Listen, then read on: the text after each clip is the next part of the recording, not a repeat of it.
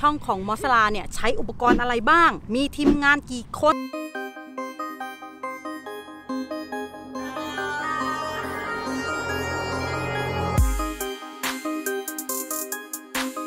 ใช้กล้องอะไรใช้ไมค์อะไร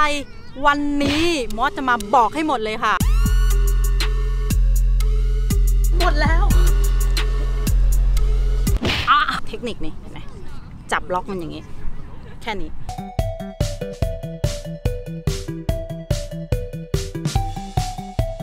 แล้วมอสก็เจอคลิปเปลี่ยนชีวิตค่ะ ไม่ใช่คลิปโควิดนะ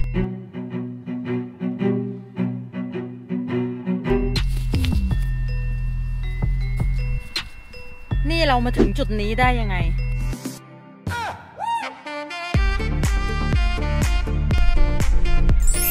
สวัสดีค่ะ วันนี้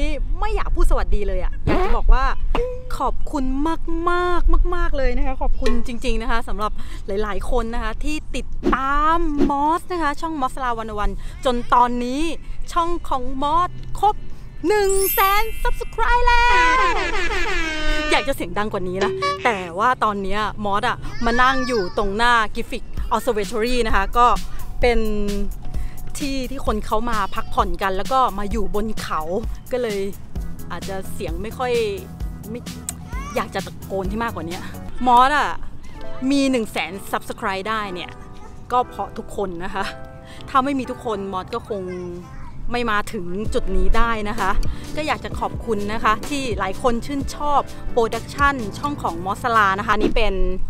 เสื้อของ In and Out Burger นะคะ ที่มอสอะเพิ่งไปซื้อมาเลยนะมอสว่าจะแจกนะคะวันนี้จะแจก สำหรับคนที่ติดตามช่องมอสลานะคะ ก็ทำไมถึงเป็นเสื้อ In and Out เพราะว่ามันเป็นเสื้อที่มีขายเฉพาะในแคลิฟอร์เนียนะคะ ลายของแต่ละรัฐอะจะแตกต่างกันออกไป นี่นะคะ เสื้อที่ได้ไปจะเป็นลายแบบนี้นะคะ ข้างหลังจะเป็น In-N-Out ของแคลิฟอร์เนียนะลอสแอนเจลิสก็จะเป็น unique เฉพาะของที่นี่นะคะ และมอสก็จะส่งจากอเมริกาไปที่ไทยให้เลยก็อาจจะ รอนานหน่อยนะ คือแค่ต้องการจะเก็บคลิป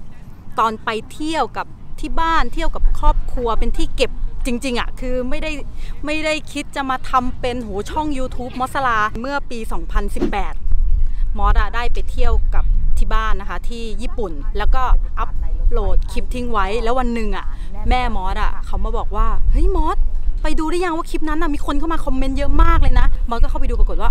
40,000 กว่าวิวนะคะสำหรับมอสคือตอนนั้นมันเยอะมาก แล้วก็มีคนคอมเมนต์แบบเฮ้ยชอบมากเลย อยากจะไปเที่ยวญี่ปุ่นแบบครอบครัวบ้างอะไรเงี้ยมันก็เลยทำให้มอสเกิดแรงบันดาลใจว่า เฮ้ยที่เราทำไว้อะมันเป็นประโยชน์ให้กับคนดูอ๋อตอนนี้อยู่ที่โตเกียวนะเป็นห้าแยกวุ่นวายแม่อยากมาไม่ใช่หรอใช่ใช่ เร็วกว่าพริบแล้วกว่าพริบแล้วเร็วเร็วๆก็เร็วเร็ว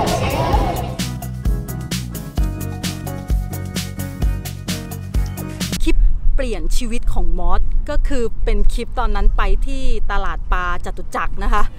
งงมากคนดูตอนเนี้ยห้าแสนกว่าวิวอะเราไปเห็นแล้วแบบเฮ้ยมันแปลกตาสำหรับเราอะเราก็เลยว่าถ้าเราได้ถ่ายทอดเรื่องราวของเราให้คนอื่นได้เห็นบ้าง เขาก็คงมันก็คงจะดีเนาะเพราะมอสมองว่าคือคอนเซปต์ช่องของมอสนะคะ เพราะโลกมันกว้าง เราจึงอยากแบ่งปัน มอสมองว่าแต่ละคนอะก็ได้พบได้เห็นประสบการณ์อะไรที่มันแตกต่างกันนะคะ เพราะฉะนั้นไอ้ตลาดปลาของมอสมอสก็แปลกตาสำหรับมอสแล้วแหละ แต่ถ้าคนที่อยู่ที่นั่นเขาอาจจะแบบมันก็ปกตินะ เริ่มแรกนะคะที่มาทำคลิปโควิดเนี่ยมันเกิดจากว่าตอนนั้นน่ะวิกฤต โรคระบาดอะกำลัง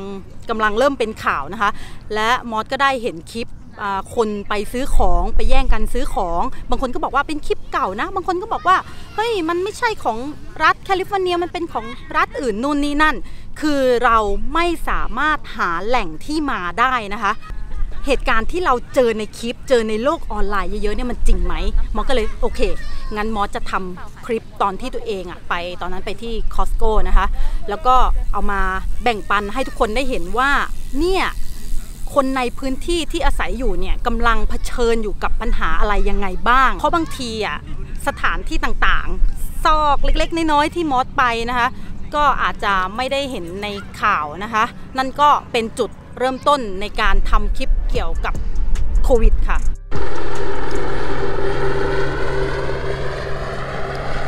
อันนั้นเป็นพอช่อง 5 ของที่นี่นะคะสำนักข่าวท้องถิ่นของที่นี่ เขาก็มาบินดูน่าจะรายงานข่าวอะไรสักอย่าง ทีมงานช่องมอสลาวันวันมีกี่คน คลิปที่ทุกคนได้ดูมอสตัดต่อเองหมดค่ะ เราไม่ได้มีจ้างคน ตัดต่อหรือว่าทีมงานตัดต่อนะคะ ตัดต่อใช้เวลาต่อคลิปนะประมาณ 6 ชั่วโมงกว่า คือมอสอาจจะไม่ใช่สายเอฟเฟกต์ใส่เอฟเฟกต์นู่นนี่นั่นนะคะ แต่ว่ามอสจะเป็นถ้าหลายคนที่ดูคลิปมอสก่อนหน้านี้ก็จะเห็นว่ามอสจะเป็นแบบเขาเรียกสายอารมณ์ ก็จะช้าหน่อยเพราะว่าต้องหาเพลงต้องบิวอารมณ์ตัวเองอะไรเงี้ยแต่ว่าช่วงโควิดอะตอนนั้นอะที่อัพคลิปติดติดกันเลยอะมอสอะได้นอน ประมาณตีสามตีสี่อะเพราะว่า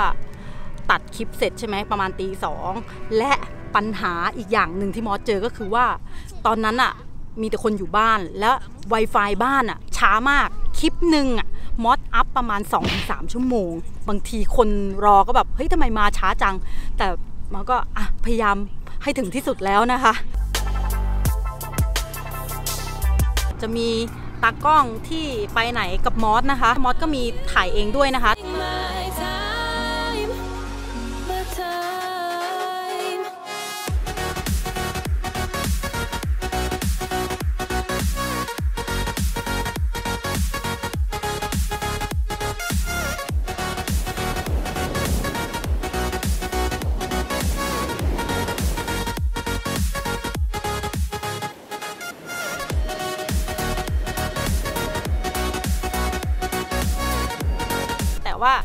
ากล้องอะเขาก็จะมีมุมอะไรที่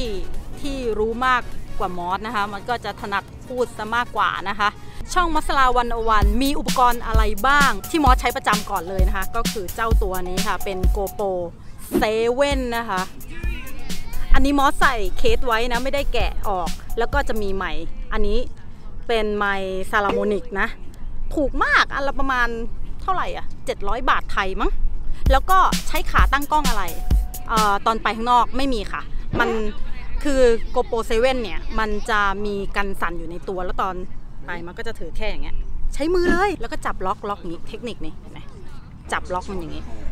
แค่นี้ทางนี้ไม่ใช่นะ ทางตันเอาเป็นว่ามอสต้องเดินลงกลับไปแล้วน่าจะไปทางอันแรกอะที่คิดว่าไม่ใช่ แล้วจะเห็นไหมคะว่า คนเนี่ยเขามานอนแบบว่าอาบแดดนุ่งทูพีซบิกินี่ แต่เราต้องล็อกแล้วก็นิ่ง ถ้าเราอย่างนี้ ถึงต่อให้มีการสั่นก็ไม่ช่วยอะไร GoPro ไม่ได้สปอนเซอร์นะคะ แต่ถ้าดูคลิปแล้ว อยากจะส่ง GoPro ตัวใหม่มาให้มอสมอสก็ยินดีนะคะ เพราะว่าตอนนี้มอสก็อยากได้ GoPro 8อยู่เหมือนกันนะ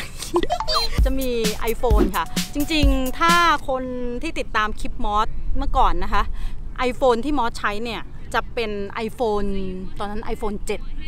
เพราะว่าข้อเสียของไอ้เจ้าโกโปรเนี่ย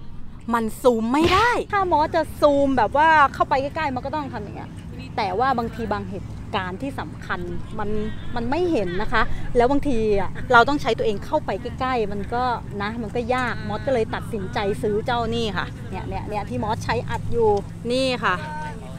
ก็คือ Sony นะคะ ZV-1 หรือว่า V1 นะคะ ตัวนี้มันเหมาะมากสำหรับคนที่ทำวอล์กนะคะ เนี่ยเห็นไหมมันจะมีจอให้เราได้เห็นด้วยว่าเรากำลังพูดอะไรอยู่นี่ และไมค์ที่มอสใช้นะคะก็คือเป็นไมค์ของโหลดนะคะ จริงๆอะเขาจะมีอ่า หัวที่เป็นผู้ๆด้วย แต่มอสอะลืมเอามาก็เลยใส่หัวโฟมแทนบางทีหัวผู้อะเราออกไปข้างนอกอะนึกออกไหมแล้วมันก็จะอลังการงานสร้างมากนะคะ ขาตั้งขาตั้งเนี่ยมอสแทบจะไม่ได้ใช้เลยนะ เวลาออกไปข้างนอก แต่ว่านั่งพูดอย่างเงี้ยมันก็เลยต้องใช้นะคะ อันนี้ก็ซื้อมาไม่แพงหรอก60เหรียญนะคะ ก็ประมาณ 2,000 กว่าบาท แล้วก็มีขาตั้งกล้องอีกอันหนึ่งเดี๋ยวอุปกรณ์อย่างนี้อันนี้เป็นขาปลาหมึก มันแบบว่าตอนไปไหนใช่ไหมคะ ก็เกาะเกาะเกาะเกาะได้เลย แต่เอาจริงก็ไม่ค่อยได้ใช้เท่าไหร่อะค่ะ มีเจ้าโดนะคะ DJI DJI ไม่ได้สนับสนุนมอสสนับสนุนเอง แล้วก็เสียตังค์ไปตั้งสองรอบเนี่ย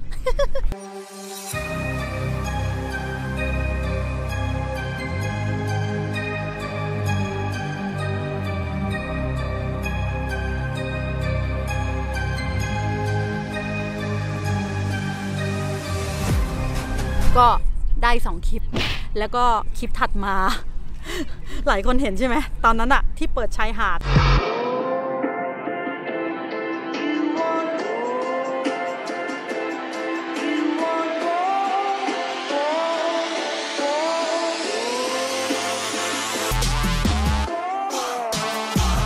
Go home.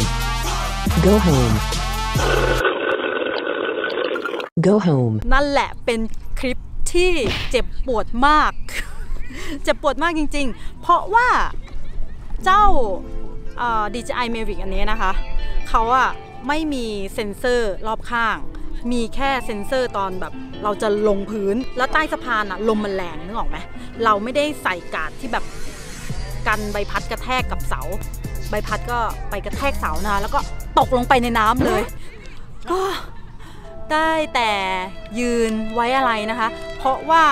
เราอะงมหาไม่ได้เลยคลื่นมันแรงมากหายไปเลยนะคะ แล้วก็ข้างในเนี่ยนะคะก็จะมีเห็นไหมมีตัวโดรน มีไอที่คอนโทรลนะคะ แล้วก็จะมีแบตเตอรี่ให้ 3 ก้อน แบตก้อนหนึ่งอะจะบินได้ครึ่งชั่วโมงนะคะ เนี่ยตัวมันเล็กมากเลยตัวเท่าเนี้ยเห็นไหมเท่าฝ่ามือมันก็พกพาง่ายนะคะเหมือนหมาไทยเลยอะใช่ไหม ตอนนี้พระอาทิตย์เริ่มตกแล้วนะคะ ตอนเนี้ยหนึ่งทุ่ม ยี่สิบห้าอีก 20 นาทีพระอาทิตย์ตกวันนี้พระอาทิตย์ตกประมาณ1นึ่ทุ่ม40นะ ตอนแรกก็มีแสงสวยๆอะแต่ว่ารู้สึกว่ายิ่งตกเย็นคนยิ่งเยอะนะคะ อากาศก็ตอนนี้ 26 องศาค่ะ ตอนนี้อากาศก็ดีขึ้นนะคะ ดีกว่าอาทิตย์ที่แล้ว อาทิตย์ที่แล้วนี่ร้อนมาก ใช้โปรแกรม iMovie นะคะ ทุกคลิปเลยที่ทุกคนเห็นมอใช้โปรแกรม iMovie ค่ะ ก็ตัดมาเรื่อยๆ แต่ว่ามี 4 คลิปหลังมาเนี่ย มอสอะเริ่มเปลี่ยนโปรแกรมใช้ของ Final Cut X หรอเขาเรียก Final Final Cut Pro X เพราะว่าเขาอะให้ทดลองใช้ฟรี 90 วัน แต่ถ้าครบ 90 วันเนี่ย มอสก็คงจะต้องจ่ายเขาคิดค่าโปรแกรมนะ 299 เหรียญหรือประมาณหมื่นหนึ่งอะคือ iMovie อะมันเป็นโปรแกรมที่ เบสิกมากตอนมอสจะใส่ตัวหนังสือใส่อะไรไปเนี่ยมอสจะต้องไปทำตัวหนังสือที่ Photoshop แล้วก็เอามาแปะอีกทีนึงนึกออกไหมคะคือมอสอะเป็นคนชอบเกี่ยวกับโปรดักชันอะไรอย่างนี้อยู่แล้วอะค่ะ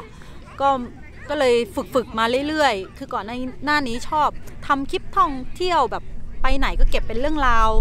อะไรของตัวเองก็เหมือนว่าเป็นการฝึกไปด้วยนะคะ จริง ๆ มอสมองว่าโปรแกรมอะมันก็ช่วยในเรื่องของความสะดวกสบายนะคะ แต่สุดท้ายแล้วอะมอสว่ามันอยู่ที่ความครีเอทีฟของเรามากกว่าfeeling อารมณ์คนดูแล้วแบบ เออเขาอินไปกับเรานะคะ ก็เห็นไหมคะว่ายิ่งตกเย็นอะคนก็ยิ่งมา ตรงนี้เป็นจุดที่คนอะจะชอบมา ยืนถ่ายรูปชมวิว เพราะว่ามันจะเห็นเมืองลอสแอนเจลิสเนี่ยแบบกว้างๆเลยนะคะเห็นดาวเทาด้วย แล้วตอนนี้มันใกล้มืดแล้วไง คนก็จะมาเก็บภาพกัน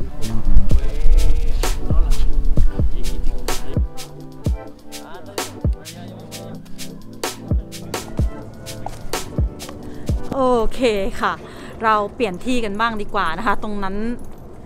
คนเยอะแล้วนะคะ ช่องมอสลาวันโอวันได้ที่มามาจากอะไร ง่าย ๆ เลยค่ะ เป็นชื่อเล่นกับชื่อจริงมอสนะคะ ผสมกันก็คือมอสลามอสเป็นคนร้อยเอ็ดไหม ไม่ใช่นะวันโอวันน่ะก็คือเป็นชื่อถนนฟรีเวย์นะคะ ที่อยู่แถวฮอลลีวูดที่มอสใช้ประจำนะคะ และอีกอย่างหนึ่งเนี่ย ความหมายของวันโอวันหรือว่า 101 เนี่ย มันมีมากเลยนะคะ มากกว่า 100 ก็คือ 101 ทุกคลิปนะคะ มอสอะตั้งใจ เกินร้อยก็เมื่อกี้เขาเห็นเราถ่ายคลิปอยู่นะคะ เขาก็กำลังหัวเราะกัน เขาก็ขอโทษก็น่ารักดีนะ คนแถวนี้ ว่าแต่ขอถอนหน้ากากมาเอาเป็นว่าใครรู้บ้างว่ามอสเป็นคนจังหวัดอะไร ถ้ารู้ อยากให้ไปเม้นตอบใน Facebook เพจของมอสนะคะ Facebook เพจมอสก็ใช้ชื่อเดียวกับ YouTube นะ เดี๋ยวมอสจะขึ้นไว้ข้างล่างนะคะ ก็คือมอสลาวันอวันเหมือนกันอตอนตอบอะให้วงเล็บด้วยว่าตัวเองอะเป็นผู้หญิงหรือเป็นผู้ชายนะคะ เพราะว่ามอสจะเอาเสื้อ in and out ที่มอสซื้อมาเนี่ยให้ผู้หญิงแล้วก็ผู้ชายแยกกันนะคะ คนละตัวนะ แล้วก็จะทำการสุ่มจับนะคะ เดี๋ยวคลิป อีกเร็วๆนี้นะคะ มอสจะไปแคมปิ้งแล้วมอสก็จะไปจับรายชื่อผู้โชคดีที่นั่นนะคะ ก็สุดท้ายนะคะมอสก็อยากจะขอบคุณทุกคนมาก ๆนะคะที่ยังคอยอยู่เป็นกำลังใจให้มอสเสมอนะคะ บางทีเจอคอมเมนต์แย่ ๆ แน่นอนค่ะ มอสว่าทุกช่องอะจะต้องเจอคอมเมนต์เกียน แต่ว่ามอสก็สตรองแล้วก็มีกำลังใจดีๆ เพราะว่าทุกคนที่ส่งกำลังใจมาให้มอสนะคะ แล้วก็ส่งไปถึงตากล้องที่อยู่เบื้องหลังของมอสด้วยก็ขอบคุณมากๆนะคะ ส่วนใครที่กำลังเริ่มต้นทำ YouTube แล้วรู้สึกแบบ เฮ้ย มันจะทำต่อไปดีไหมไม่มีใครดูเลย เริ่มแรกมันยากค่ะ มันเหนื่อย ขอให้สม่ำเสมอและเรามีความจริงใจกับคนดูว่าเราต้องการนำเสนออะไรและสิ่งนั้นนะมันเป็นประโยชน์กับคนดูไหมคนดูได้อะไร แล้ววันหนึ่งเขาก็จะติดตามเราเองนะคะ ก็ยังไงก็ฝากติดตามมอสหลาย ๆ ช่องทางนะคะไม่ว่าจะเป็น Facebook แล้วก็ IG และอย่าลืมนะ ไปร่วมสนุกกันนะ เดี๋ยวมอสจะได้ส่งเสื้อไปให้นะคะ